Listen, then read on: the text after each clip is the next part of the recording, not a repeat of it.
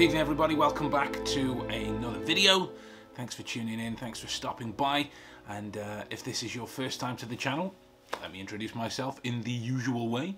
My name is Ben Cardall and I am the author of the best-selling book The Monographs which details the real-world methods for the skill set of Sherlock Holmes how to develop them and how to train them and how to make them your own. And I now spend my days teaching people and businesses and elite security professionals how to do this for themselves, for the protection of themselves and those around them. So if that sounds like something that you're interested in, then by all means subscribe to the channel and uh, you'll know exactly what you're letting yourself in for moving forward from there. Now, today we've got a, uh, a particularly incendiary topic uh, to look at. By, by popular request, there was more than a fair share of you uh, that asked for this one, and so I figured that I would do it, but here are the rules uh, for this. Because it's revolving around Shamima Begum, and her body language from the most recent uh, interview that she did on uh, breakfast television here in the UK. Um, so, should this devolve into um, insults being levied, uh, any any form of hate speech uh, of any kind, at all, this isn't the the avenue for that, right? We we're here to study non-verbals and uh, communication that way to see what's truly going on under, underneath the surface. I have my own opinions on hate speech uh, and this isn't the place for it, right? This isn't the place. So there'll be none of that. So if it does devolve um, into that uh, in the comments, I'll just turn them off. Um, what I am interested in is, is your thoughts on this, genuinely, what you can see um, and the likes and how this forms your opinion of uh, what she's going to do next, what she's thinking of doing moving forwards. Uh, because that's what this is the place for. So just because I work in the field doesn't necessarily mean that I've got all of the information to hand, right? So I'm, I'm always keeping my ears open for exactly what you guys have to say and uh, where your sources are coming from. As always, we are examining this video um, upon the context of what we what we know at this time, which uh, there has been much said uh, in the UK of of Miss Begum. Um, if if you're not familiar with it, here's a brief timeline of events that I got from uh, the Independent. Um, August 99, she's born. Feb 25th, 15 there was an international hunt launched to find three schoolgirls who were making their way to so-called Islamic states in, in Syria. Um, Shamima was 15 at the time uh, and she's got two 16-year-old friends with her. October 2017, a US-backed alliance of Syrian fighters takes full control of Raqqa, ending three years of ISIS rule in the city. Um, 13th of Feb 2019 there was a Times war correspondent that found uh, Miss Begum and uh, she told him that she wants to return to the UK to raise her child but she didn't regret her decision to join ISIS. Uh, she'd had two other children that have sadly died of malnutrition but interestingly enough uh, in terms of her behaviour from a behavioural analysis she'd said um, that she'd been unfazed by some of the things that she'd seen speaking about seeing heads in buckets um, and the like uh, and referring to these peoples of uh, these people as uh, enemies of Islam. 19th of Feb 2019, uh, she's been stripped of her citizenship and sent on. Where are we? July, Court of Appeal rules that Shamima Begum should be permitted to return to the UK in order to fairly contest the British government's decision to revoke her citizenship. That's that's it, basically uh, in, in relationship to the right to a fair trial. Um, 26th of February of this year, the ruling was appealed and sent to the Supreme Court on Feb 26th. This is, the Supreme Court ruled unanimously against bringing Miss Begum back, thus reversing the previous decision. And uh, on the 15th is when she went on TV. Uh, it's now the 20th today, and that's the interview we're going to be having a look at. Uh, one of the things to note, because I have seen pictures, there's a picture on the uh, on the Independent article of what she's wearing at the time. Um, lots of people remarking about her, her clothing, not wearing the hijab. Uh, now, I'll, I'll be honest, right? I know very little of, of the culture uh, over there, rules, regulations regarding what you can wear, what you can't wear, why uh, why it's uh, a thing in terms of your religion, which is all very important information for us to be thinking about when we're reading this person in this scenario. So all I did was Google it. That's it. So make of that what you will. Uh, and I had to be, yeah, kalilan, kalilan. But nothing more than that. Uh, so the purpose of the hijab is modesty. Uh, its intention is to put forth a woman's intelligence, personality and opinion before her femininity in the society. Basic rules being um, cover all body parts except the face, hands and feet. Um, not wearing transparent clothes or scarves, not wearing clothes that are too tight and revealing. The, the clothes shouldn't show the feminine curves. Um, uh, attractive makeup, loud accessories, uh, appealing luscious perfumes in public is not acceptable and uh, boyfriend-girlfriend relations, dating, physical contact uh, isn't permissible. Um, the above rules for a hijab wearing uh, women are valid for all men except the woman's father, husband, brothers, sons, uncles, grandfather, father-in-law and son-in-law. They, they don't wear them in their beds. Uh, they're not allowed to take them off even if it's 100 degrees outside. Don't take them off for special occasions like weddings as well. So it, it seems pretty, pretty vehement uh, in terms of the uh, the regulations regarding wearing them. So, with that in mind, let's have a little look, see what's going on. One of the things uh, I should mention as well, given the topic, is this is going to be prone to uh, uh, reflecting a lot of people's bias uh, in terms of the things that she said previously um, solidifying an opinion of who and why and what she is moving forward into now and how does that um, affect us uh, in terms of determining exactly what's going on from a from a bias standpoint? This, again this has no place here because we're, we're analyzing it purely on this and uh, and nothing more right? A lot of people commenting uh, particularly on the potential for my biases um, as, as well which is fair I, I have done as much work as I possibly can to eradicate them. I have nothing to gain out of my opinion one way or the other on uh, on Miss Begum. I'm, I'm going to look at this before having any kind of a decision being made and uh, just tell you exactly what I'm seeing. But this is on first view of the interview. Now I'm to understand that this is uh, sort of a best bits. It's not the full one. It's not the full one. I think this went out for around 25 to 30 minutes. Uh, and this clip that I have is only 8 minutes as well. So already we're dealing with uh, uh, a, a small sample of the details there. However, let's get cracking before someone else moans.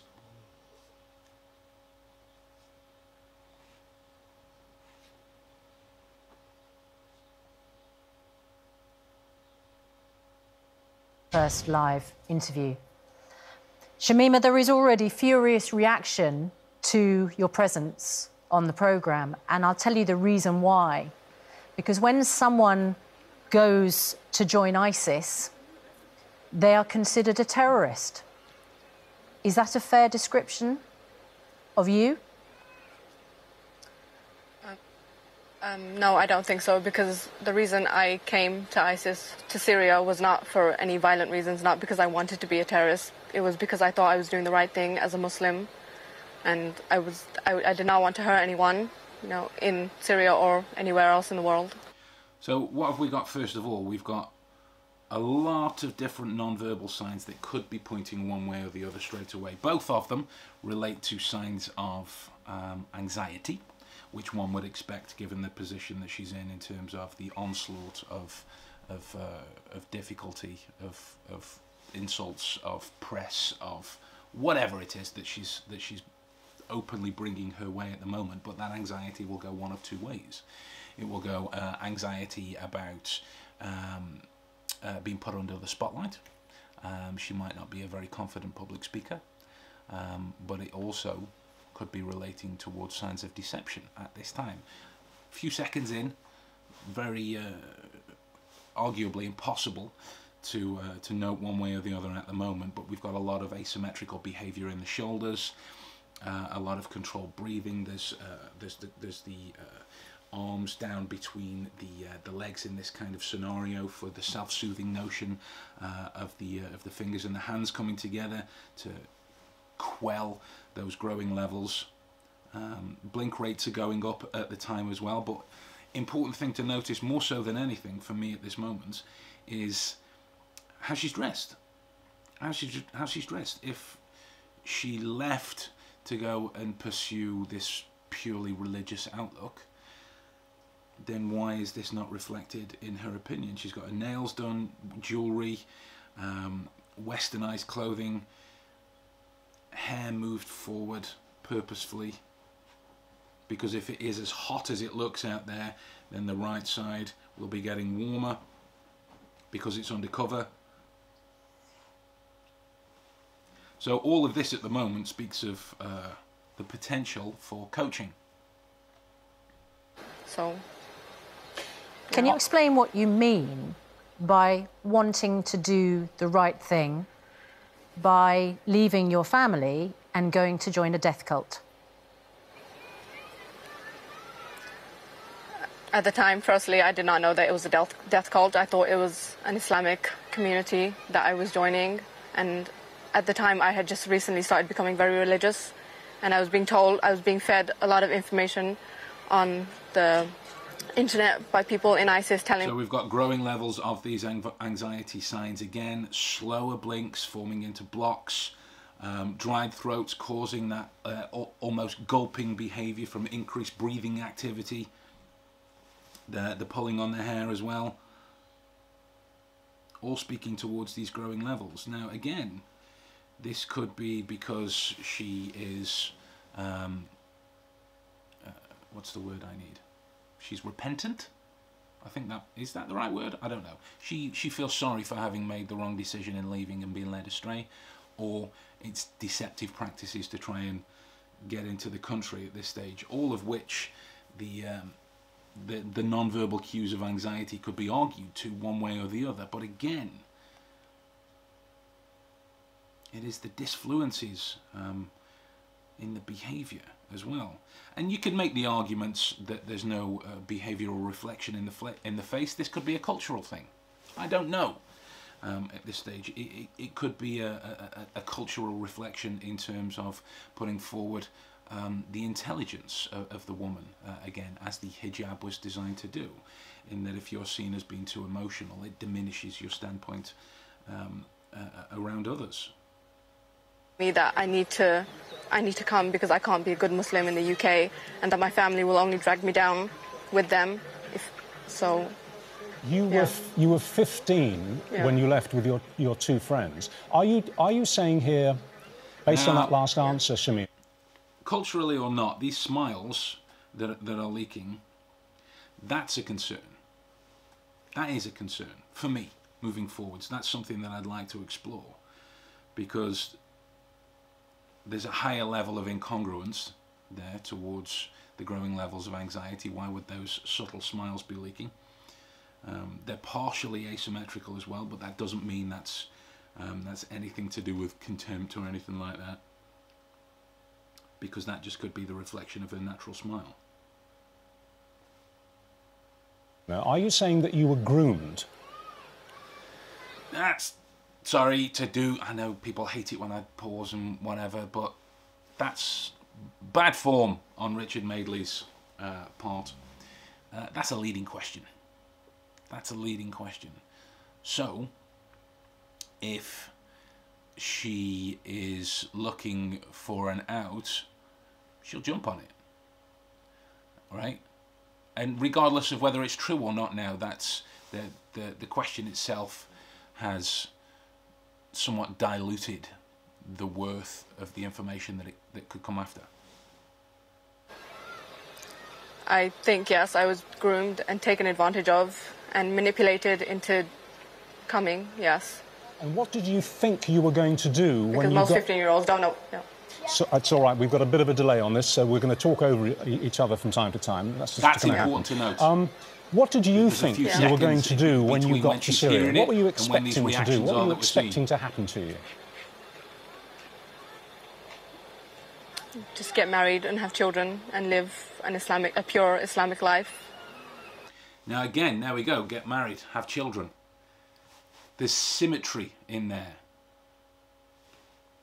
So we can start to draw differing um, uh, directions in terms of how we uh, examine this information moving forwards in terms of where the asymmetry pops up versus when the symmetry pops up because she's shown that she's capable of both.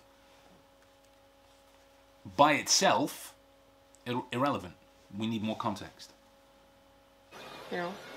But you That- must, yeah. but, but you must have known what was going on in Syria. That there was a full-scale Just war breathe going in on, again, it's coming from um, here. and that ISIS was attempting to basically colonize the Middle East through acts of brutal terror. I mean, you must have known that. Adjustment of the back. Now there's no back support on the seat. I did not know that there was war. I, I knew that there was war, but not in the places where women and children were living. I, Now, I would need to know how long she's been sat there uh, initially, right, before that chair's, chair caused any level of discomfort, because to be doing this immediately shows that that anxiety is growing into discomfort. It's affecting more parts of her body, and she's doing more to keep it at bay. That's why we're starting to see more signs of self-soothing, more signs of blink rates going, more signs of uh, of shutter speed slowing down, more more signs of looking away in terms of blocking behavior, more signs uh, of pulling the hair, of chest breathing, of self-soothing in the hands. That chair could be quite important. But it's it's an almost childlike response to go, I didn't know. I thought where I was going, it would be safe for me and for any children I would have. And I did not know that ISIS was, you know, trying to take over the world. I am asking the British people to forgive me because I made a mistake at a very young age. You know, m- most young people don't know what they want to do with their lives, and they are very confused, and they can easily be fall into things like this. And I know it's very hard for the British people to try and forgive me because, you know, they've they've lived in fear of ISIS. They've lost loved ones because of ISIS, but I also have lived in fear of ISIS, and I also have loved, lost loved ones because of ISIS. So we've got exclusions uh, in terms of oh, I didn't know, I wasn't informed. This is when you hear people say things like "not to the best of my knowledge" uh, and, and and this kind of thing. It's a way to sort of exculpate yourself. Uh, is that the right word? I don't know where that came from. If it wasn't um, of of any responsibility, right, uh, uh, towards the actions that you've taken. So if you're looking to make um, a genuine apology if you uh, if you look at it on a on a on a psychological level uh, in terms of whether apologies are accepted or not there needs to be the acknowledgement of fault and there isn't there isn't that. There's no outward signs of accepting that she has done anything wrong. It's it's lip service to achieve desired ends at this stage.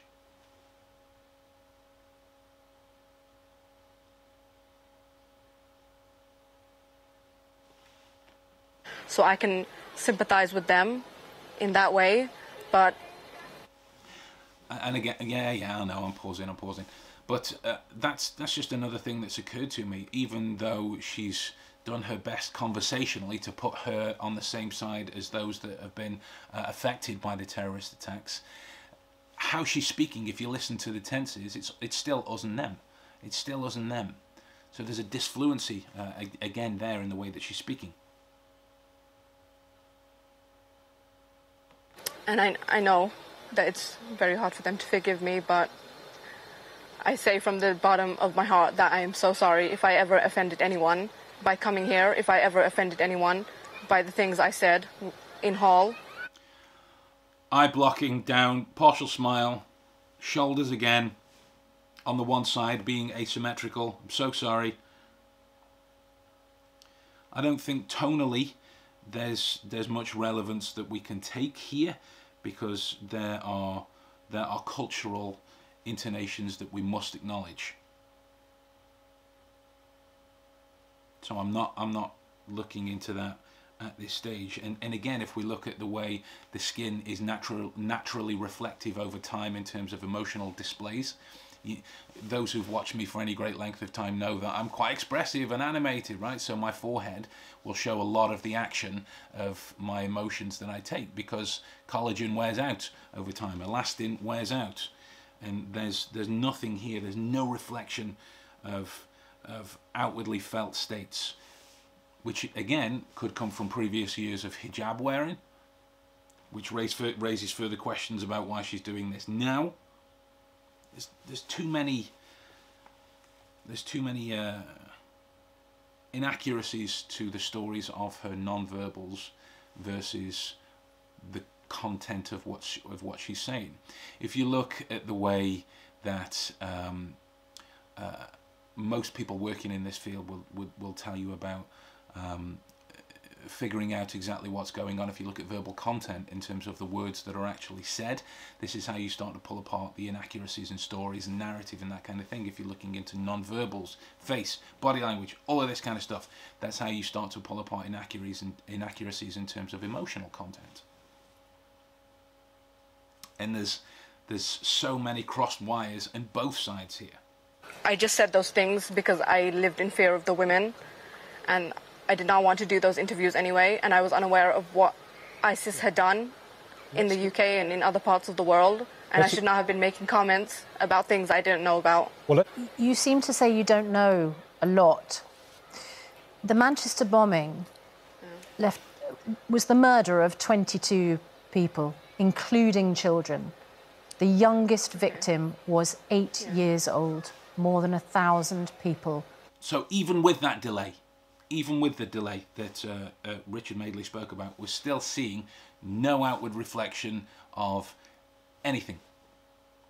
Which, if she's gone through any kind of coaching, which given the uh, the outwardly westernized displays that she's trying to say, um, and there was a couple of moments uh, that I read about um, in her accent um, when she says "got." things like that, it comes across. I, I, can't do accents, and again, those of you who watched will know. But the Americanized "got," "got," it's it's up there. That's how she says it. Uh, and phrases like "got anything on me," they haven't got anything on me. It's directly uh, in uh, in uh, flying in the face of exactly what she was talking about before, being strictly uh, Muslim and the like in this area verbal content, revealing the inaccuracies again. But we're seeing no signs, yeah, even though she's she's talking about the, the, the murder, 22 people, kids, young, mm -hmm, yeah, yeah. Like you're listening to a, a, a story. Were injured. It was a horrific attack and for you to have said that there was a justification sickened everybody who heard what you said. And people find it hard to believe when you say, I didn't know about ISIS. I didn't know it was a death cult.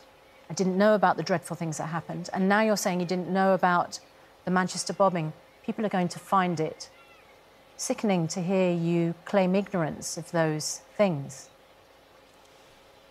Again, she's verbalizing the fact that there's there's no um, acknowledgement of doing wrong at all.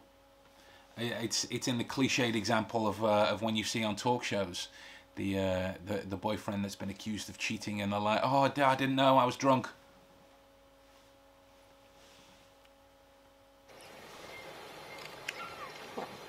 I, well, when I was 15 and I was doing my research on ISIS. well, there you go. Oh, oh, oh God, that stumped her. Oh God, mm, that threw her. That threw her for. Well, it's thrown me for a loop. That's thrown her for a loop in terms of her communication tactics. There, she jumped immediately to an exclusion. When I was 15, doing my research, too young, didn't know, so the research I was getting was from people online in in ISIS because I thought that that would be the most reliable source because they're in ISIS and they were feeding me a lot of lies and they were giving me a lot of excuses. About the things that maybe I was seeing They on the media, like the, the attacks doing this to and things that Doing ISIS your were doing in try and Syria and Iraq. the victim. So they always had an excuse. And about the Manchester bombing and other bombings that happened while I was in ISIS, I had no connection to the outside world while I was in ISIS. I didn't have a phone. I didn't. My husband couldn't use the internet, so we really were unaware of anything that was going on outside. We were only aware of what was going on within the Middle East. So you stand, you s- When I came to Hol, I heard a lot of stories about women I'm going to presume that was a cut there because that doesn't make a great deal of sense otherwise.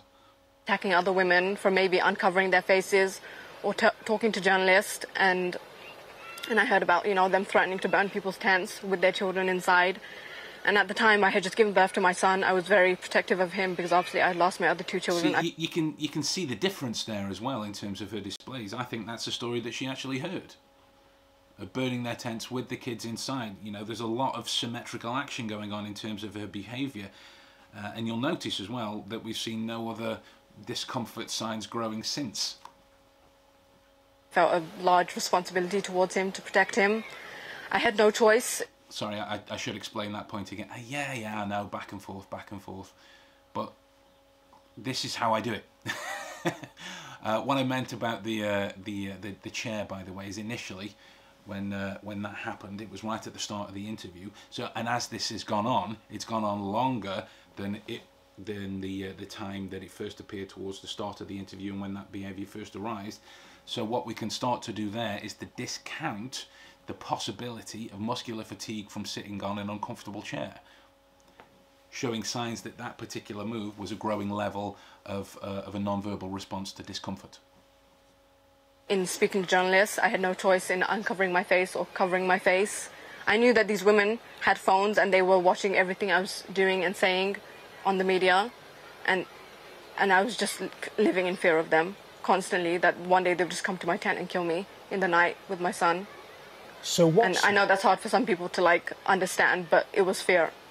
That's been the only time that she's been um, uh, emotionally charged in the voice. You can hear it start to dry up uh, and the pitch start to increase as as one does when they're they're on the brink of uh, you know talking about things that uh, scare us or make us upset and the like. There is the there is the potential waver in there, but it's caused from a drying, uh, a, a, a, a, physical drying out uh, of whatever the organs are back there, which could also come from increased breathing as a result of growing levels of anxiety. so what's changed, Shamima? Buried smile again. Well, now I'm in a different camp. Obviously, it's it's a little, uh, it's slightly more safer in this camp compared to Hol. Of course, I am completely sorry for anyone who has been affected by ISIS. You know, I in no way agree, like agree with what they did. I don't. I'm not trying to justify what they did. It's not just. It's not justifiable to kill innocent people in the name of religion, and I just Yeah, we we knew that anyway. But this again, there's there's too many disfluences. Uh, I'm sorry for the people that have been affected. Yes. Are you sorry for what you did? That's what we're asking, uh, in a nutshell. And the, the thing about being in a different camp that was that was weird again with the slow eye block uh, there. So there's not something that's that's adding up in terms of her feelings towards the camp. She's trying to paint it as different and therefore better, partially less dangerous. That doesn't ring completely true. Verbal content again. Non-verbals leaking emotional content again. I want to apologize. One of the reasons No, I did not. And th- th- Okay, so I I know where the no I did not comes from. It was in that Telegraph article.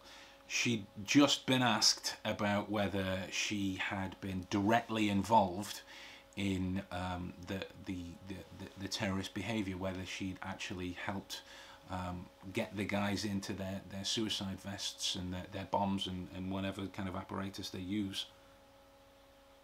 I'm willing to go to court and face the people who are making these claims and refute these claims because I know that I did not do any anything in ISIS apart from be a mother and a wife. And these claims, I think, are just being made to make me look worse because the government don't actually have anything on me. There you go. Right on cue. On me. Again. Don't have anything on me. Slow eye blocks again. No. I, I, I, I don't buy this at all. The whole thing reeks of coaching, reeks of incongruencies in narrative, in behavior, in uh, emotional content, verbal content. There's no evidence, you're saying, that you did these things. There's no evidence because nothing ever happened. Why did you stay so long? If she'd have not moved um, afterwards, that'd have been the most declarative thing that she said throughout this. There's no evidence because nothing ever happened. Her internals are going, oh god, we're about to freak out. Ugh.